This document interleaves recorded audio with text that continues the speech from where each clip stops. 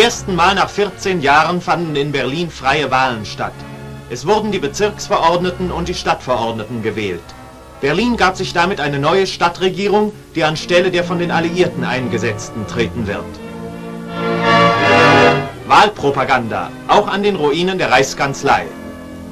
75 Prozent der Einwohner Berlins waren wahlberechtigt.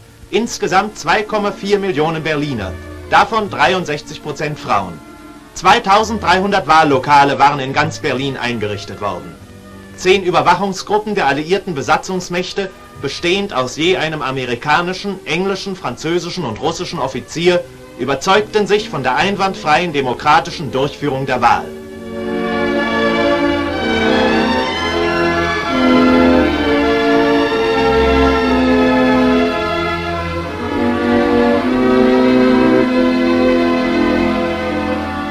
In den Krankenhäusern wurde gewählt. Hier zum Beispiel ersetzt ein Lichtkasten die Wahlzelle, sodass selbst im Gemeinschaftssaal das Wahlgeheimnis gewahrt bleibt. Die Parteivorsitzenden bei der Wahl. In der Mitte Franz Neumann, Vorsitzender der Sozialdemokratischen Partei in Berlin. Jakob Kaiser, der erste Vorsitzende der Christlich-Demokratischen Union. Otto Grotewohl, der zweite Vorsitzende der Sozialistischen Einheitspartei Deutschlands. Dr. Külz, erster Vorsitzender der Liberaldemokratischen Partei. Nach der Wahl die Zählung der Stimmen. Die alliierten Kommissionen waren auch bei diesem wichtigen Vorgang nach der Wahl anwesend. Die Wahlbeteiligung betrug 88,9 Prozent. Im neuen Stadthaus laufen die Resultate aus den einzelnen Bezirken zusammen. Journalisten und Politiker warten auf das Ergebnis. Die Sozialdemokratische Partei errang mit fast einer Million Stimmen, das sind 48,7 Prozent aller abgegebenen Stimmen, den ersten Platz. Es folgen die Christlich-Demokratische Union mit 22,1 Prozent, die Sozialistische Einheitspartei Deutschlands mit 19,8 Prozent und die Liberaldemokratische Partei mit 9,4 Prozent.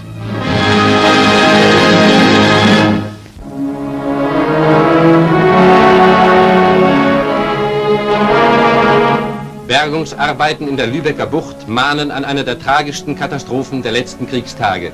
Den Untergang der 28.000 Tonnen großen Kap Arcona und des Handelsdampfers Thielbeck. An Bord der beiden Schiffe befanden sich 7.520 KZ-Häftlinge aus 15 Nationen. Über 7.000 kamen mit den Bewachungsmannschaften in den untergehenden Schiffen um. Obwohl die alliierten Truppen bald nach der Katastrophe die Küste besetzt hatten, konnten nur 380 gerettet werden. Ein SS-Kommando erschoss noch vor Eintreffen der Alliierten 240 Häftlinge, die sich an Land gerettet hatten. Etwa 2000 Leichen wurden bisher angeschwemmt. Tausende befinden sich noch an Bord. Unter der Leitung eines englischen Offiziers sind an der Unglücksstelle Taucher am Werk, um diese Toten zu identifizieren. Dieser Beutel bringt Erkennungsmarken und Dokumente an Bord des Tauchbootes. Jede Spur, jeder Anhaltspunkt wird sorgsam geprüft.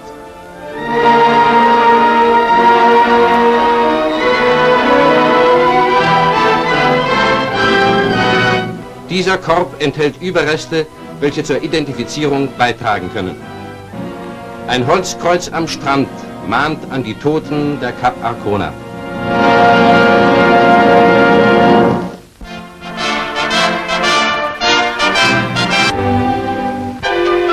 Die Champignonzucht im Luftschutzbunker. Auf diese originelle Idee kam ein findiger Berliner Pilzzüchter, der in den Räumen eines Tiefbunkers Mistbeete für die Champignonaufzucht anlegte. Da Champignons stets im Dunkeln und in feuchter Atmosphäre gezogen werden müssen, sind Bunkerräume für diese Pilzfarmen besonders gut geeignet. Die Beete werden bei vorgeschriebener Temperatur angelegt und mit Erde abgedeckt.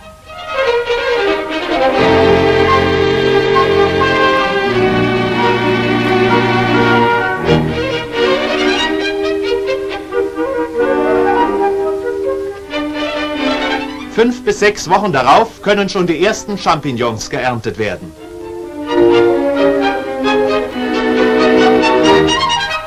Delikatessen aus der Dunkelkammer. Eine Methode mehr, aus der Not der Vergangenheit eine Tugend von heute zu machen.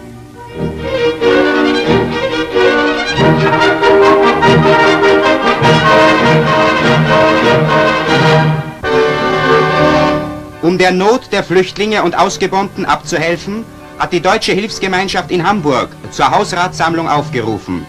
110.000 Anträge von Besitzlosen liegen vor. Nur 10% dieses Bedarfes kann aus vorhandenen Beständen gedeckt werden.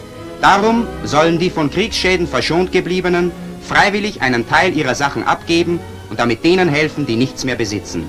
Es wird kein Plunder, sondern nur brauchbares Material erbeten und weitergeleitet.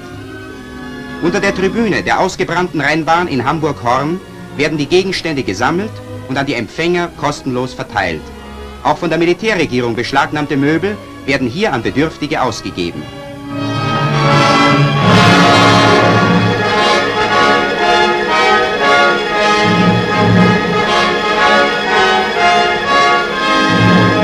Die Hamburger Hausratssammlung ist ein praktischer Beweis tätiger Nächstenliebe.